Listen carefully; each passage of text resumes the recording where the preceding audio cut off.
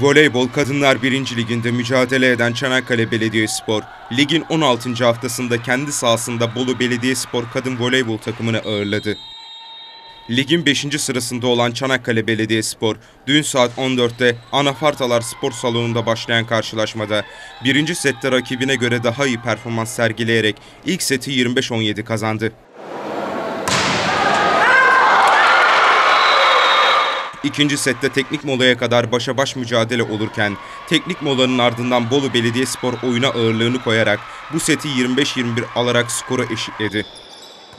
Üçüncü sette Çanakkale Belediyespor'da yorgunluk belirtileri görülürken rakibi 10 sayıya kadar öne geçti. Konuk takım sayı farkının kapanmasına rağmen bu seti de 25-23 alarak setlerde 2-1 öne geçti.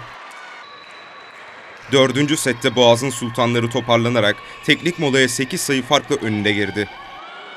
Set sonuna kadar üstünlüğünü koruyan Boğaz'ın sultanları dördüncü seti büyük bir sayı farkıyla 25-12 alarak durumu 2-2 yaptı. Beşinci set büyük bir çekişmeye sahne olurken heyecan doruğa çıktı. Evinde oynamanın rahatlığı ve seyirci desteğini de yanına alan Boğaz'ın sultanları 5. seti 15-12 alarak Bolu Belediyespor'u 3-2 mağlup etti.